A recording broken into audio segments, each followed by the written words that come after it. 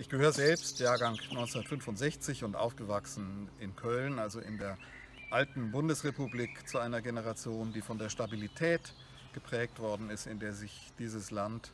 über Jahrzehnte im und mit dem Grundgesetz befunden hat. Und ich erlebe es jetzt, dass wir uns in einer Phase des Umbruchs, vielleicht sogar des Epochenbruchs befinden, in der wir noch einmal uns darüber verständigen müssen und verhandeln müssen, auch darüber streiten müssen,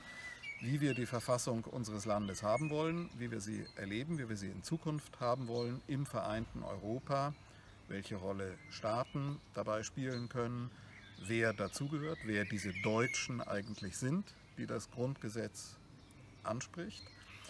Der Jurist Peter Häberle hat mal den Begriff der offenen Gesellschaft der Verfassungsinterpreten geprägt und äh, ich glaube, man kann auch im digitalen 21. Jahrhundert eine offene Gesellschaft der Verfassungsinterpreten haben, wenn man